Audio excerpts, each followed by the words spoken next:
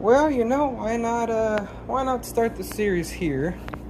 Um cuz this is going to be a long one. Very very long term fun project. If you follow me on Instagram, you already know, but a surprise. We bought another 240. This one is a pretty much pro car, well pro am car. Needs fire suppression, but yeah, it's it's full race car. Uh, full cage, it's a thick boy. Um, I do not like how they have this stuff, but because usually I think the NASCAR bars just go on those two and not that big one up there. But you know what? It works, it's safe. Um, it's, a, it's a chunky cage. Thick piping, I will be very safe. Um, we have some rust, as you can see. And so I've just, I just started cleaning it up, wire brush, sanding, all that good stuff. This one was very similar, so um, pretty just cleaning up the rust. The cage is also rusted. Um, mainly surface rust just because the obviously has no windows or uh, sunroof. Kind of see it up here a bit. Kind of the worst part of it. That'll focus. There you go. Um, so yeah, I'm gonna be doing a sunroof delete panel up here just so that's all nice and snazzy. Um, I don't know if it'll fit. Technically speaking, it should. Um, that's like right at the, the roof line. Um, like comparatively there. But we'll make it work. Worst case, you can just kind of tack weld or just weld some stuff up top here. Um, there's a little dent right there I can see from here. Um, this is a long-term project, but I'm excited for it for sure. Um, let's see if it if it'll start. Came with some spares, got a fuel cell. I hate those batteries, Odyssey, small ones. They I just do a full-size battery, but that's just me. Um, let's see if she'll start. She's she's kind of grumpy. Let's see if I can get my fat ass in this cage. It's uh good motivation to to lose weight so I can get in this cage a bit easier. Um, all right, so it is a LS built LS1. Uh, supposedly makes right under 550 wheel. Um, let's see. Uh, that that battery's too low. She ain't gonna start. Oh, I turned it off. My bad. Still new to this. Still new to this. Um, we got party lights. That's the most important thing, honestly. I, I can just stop there. But, oh, now we have 12 volts. Maybe she will, I don't know. She's odd. Maybe she will start. Let's see.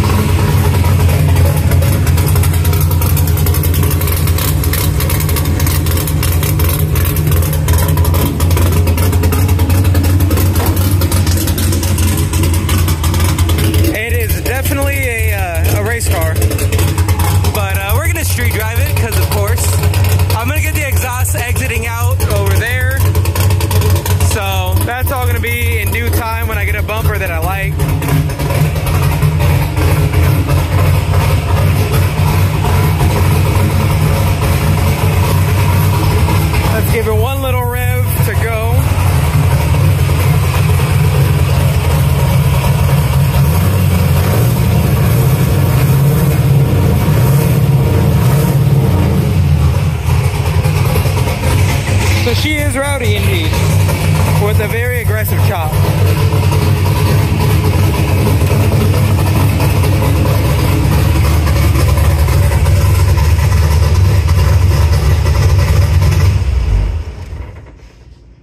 So it is a little loud, just a smidge. Um, yeah, so she's rough. She's indeed rough. Uh, there's an E36 with an LS that realistically I probably should have got. It was a lot more put together. Uh, LS3, well, iron block with LS3 internals. Um, a lot cleaner, a lot nicer, but I've never driven E36 like that. I had an E36 M3 sedan before, but that was like probably eight, ten years ago. And I'm very comfortable with the, uh, the S chassis. So I figured I'd rather, you know, throw it at a wall. I'd rather be in something I'm comfortable with. But um, yeah, so fitment is uh, very on point. Literally no gap there. Um, tire slayer for sure though. I'm super excited for it. Uh, have a lot of plans. Eventually I'm gonna get KBD. Are you gonna focus? Maybe, maybe not. I can't see clearly. Nope, nope, we can't see. Oh, there we go. Uh, obviously, I'm gonna get some doors at some point. Probably KB or not KB, uh, Big Duck Club, just because they're that material that bends and doesn't break. So do that. Probably get some riv nut windows, uh, like Lexan. Um, make some bracket for up here since these are one piece. Pretty much they'll bolt in down here like riv nut, riv nut, and then ideally I'd get like a bracket or something made up here so I could have it like a bracket hang down, bolted in and out. If I want to take this to Cars and Coffee or something, uh, I can go up as unrealistic as that is. Um, I can go up, take the windows out, drive up. Sunroof delete plate will be coming on that. Uh, I think I'm to just kind of ball out. Not really. Uh, get some Steel-It and just do the interior. This seat doesn't really fit. If the seat fits the height, because it's hard mounted, um, I need to adjust. So, uh, pretty much just take those bolts out. And I actually have the Garagistic high mount one. So instead of just having like those four settings, there's like 12 or some, something like that. So I can move it forward a little bit and a little higher. He did floor drop this so he could fit. Um, so I'll be moving it forward towards that little mount but I'm also gonna be moving it up maybe two inches, so it should perfectly clear that portion there. We'll see. Well, that's out. I'll probably spray the rest of the bottom. Uh, I'm gonna just spray it black for now, so it's kind of like the rust prevention coating and everything, and then do the Steel-It on top of that. Um, same with the cage, I believe. I'm just gonna do Steel-It on. It's easy and simple, just to get the rust, not, pretty much to take care of the rust, so but yeah, this is uh, this is it. It's a LS1 fully built T56, um, PVM coilovers, cut knuckles, kind of old school setup. Eventually, I'm gonna go Wisefab and everything. Might get a nice dash and all that stuff. Um, but it's a good start. Uh, I can compete in this. Um, most of the local stuff around here. Plan to do drift roulette, uh, SoCal, the Amslam. Um, drift league at some point. Need to get a fire suppression system, but besides that, it, it's pretty set. I just need to get some seat time in it. Um, but yeah, Boss Kit's definitely not staying. That's going to go at some point, but I'd rather spend money on seat time and getting stuff dialed in as opposed to doing a front end. I got some turbo cans somewhere. I'm going to just do the whole thing black. All one spray, call it a day. Um, but yeah, so we're going to take care of this cage for the most part, at least the floor pan. It's not going to be pretty. Uh, we can do that later on when I'm actually good. So this is all going to be black uh, pretty soon. Well, probably up to that part. Maybe, yeah, I'll do that when I take the seat out so it's not too, too bad. But make a magic snap and it's black. So still drying, obviously. Um, I literally just finished. I'm also doing my excursion, which is a tow rig that if you follow my Instagram, you've seen. If not, uh, you'll see it at some point. It's not it's not crazy. Um, so gonna let that dry. Probably do up there as well, real quick. I think. Just so actually no, there's no rust up there. That's the main thing I'm trying to do is just rust prevention. Maybe a little bit over there, But make sure all the seams are good and stuff like that. This is rust reformer. So pretty much just sanding it off as best as I can. And then like spots like that back there, I'll pretty much use the wire brush, sand it, get it down to metal, and then use rust reformer as the base. Um, it says you can spray it on directly onto rust, but I'd rather just do it as bare metal, as close as possible. This is gonna be the fun part up here. Trying to get coverage on that. Um, so we'll see. I'll probably do this part black, maybe. I don't know. We'll see. We'll see when that time comes, but just slowly doing the cage on this. So I'll throw in some update videos as, as I go. Alrighty, so got that filter over there. Gonna see if we can get it away from the radiator and have all that heat right on it. So we got just the eBay exhaust intake. I'm tired. Um, supposed to be a four inch elbow. In theory, that do be a four inch elbow already. That seems like it would slide on and off, but make that work. The goal is to have intake right there because eventually I'm going to do Kouki front with, um, I'm going to cut this out right here. So that way it's just pretty much like a cold air intake straight through. Um, and it can directly get air there. Um, what? Yeah, it's taped together. I don't like that they have these little brackets on it, but I can probably just cut those off, honestly. So let's see if we can make this work. All right, so we kind of mocked it up. Uh, it will work. It has this, like, I guess coating on it that I need to take off because I'm going to do the gold heat tape on it. I need to cut this tab off. I bent that one to see if maybe I can make it work. If not, that'll also get cut off as well. But for now, we're just going to cut this one off with a grinder. So, let's get it going. Alrighty, easy enough. So, just pretty straight-ish cut. Uh, doesn't need to be pretty. You can use the wire wheel to clean it up. That way it doesn't uh, hurt if I put my hand down there. Um, ideally, like I said, this this was a $50 intake. I'm to put some gold tape over it and over that. So we're just making it work. We still need to see if this will fit, but we're to clean this up first. So hand is not going to work. All right, well, slowly the intake's going to work and everything. That's kind of least my worries at this point. Uh, definitely going to nut and bolt the car. Um, guy got it from so I could drive it back. It'd be bold, but uh, that injector, this one here, was not plugged in, so was running idling on seven, and with it plugged in, it idles. It doesn't like to idle. I don't know. It's just a tune issue or it being down here, but that's obviously uh, something I need to look into. Valves definitely need to be adjusted because they're solid lifters. Um, and then all these pretty much nipples were pretty much blowing out of their place just because they're not zip tied something easy enough so I did all those actually this uh, perfect example that one is set but it is cracking so would it have worked probably Luckily, I keep these just for reasons. I figured I'd need one at least. It's about the same. Uh, radiator was half a gallon low of coolant, so just added distilled water. I'm gonna zip tie that because I'm here. Um,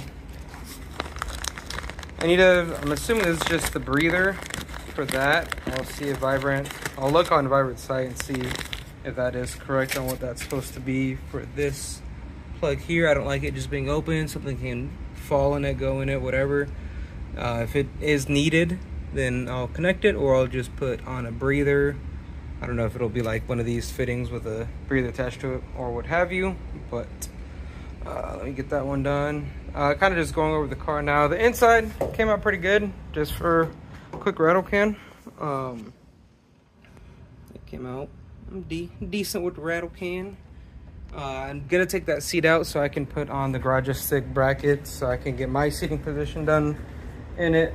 Um, I just, I ordered ratcheting wrenches because I don't have the sizes and I just ordered a kit. Um, of like random little stuff. The intake is gonna sit like right here or so with a filter. So I believe since there's tire, pretty much tire there, I feel like debris could get in. So I may block that out. I have that downward kind of intake that I could use if I get a bumper that goes down here. Or, I mean, I'm gonna run the intake duct no matter what. So I'll probably just cut this hole here, make it pretty much a perfect system to flow right in there directly. Uh, there is no dipstick, just a little nipple cover, so that's cool. I'll need to see something about that. Um, yeah. Definitely need to, um, is that fuel leaking there? Don't know. Something's leaking. It's moist at least. But I can't see where that moistness is coming from. Could just be this. I don't know. It on both sides? No, just on one side. Just on that one. Another thing I'll have to look into. Like, so I'm gonna nut bolt check. Uh, radiator already looked through. Uh, oil I'm gonna drain. Luckily, it has the uh, adapter up here. Uh, I'm tired. I just got off. Well, I didn't just get off work. I've been off work, but I've been. I just got home, so I've been all around all day. Um, headlights. He said they work, They do not.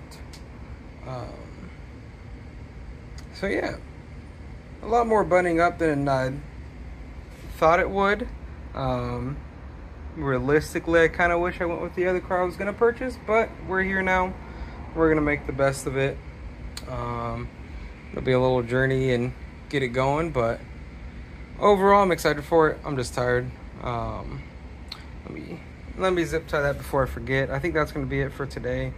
Um, I'm gonna do the intake. I already cut that off. I'm not gonna run their filter. I'm just gonna run wherever the K&N filter is. Um, because it's better than some Spectre one. Anyway, uh, gonna see if tape sticks to this. If not, probably scuff it so it can stick and throw that on. And there's that little kind of heat shield thing. I don't think I'm gonna use it honestly because it's supposed to be for this way. And so it's like a L that way. So if I flip it, it would be um, pretty much like pointing up. I may be able to make it work, maybe, maybe not. I can always just make a custom one or have one made if I really need to, but I don't think I need to go that far, honestly. So, um, it's a it's a decent starting point. Um, like I said, I'm tired, so valves need to be adjusted. Luckily, it looks like it's just four bolts, and they use different bolts on each side already. So one, two, three, four, and then one, two, three, four. That one's a different one. Maybe I'll get dress up hardware for those bolts like uh, make it look a little nicer. I don't know what this little block off area is for. I'm assuming that just they welded it in. Maybe I'll probably just paint that as well, like wrinkle maybe. I don't know. Time will tell. Sharpie it. Fuck it. So, uh, this is gonna be the first video for this thing. Like, share, come subscribe to see more. I'm gonna get some sleep.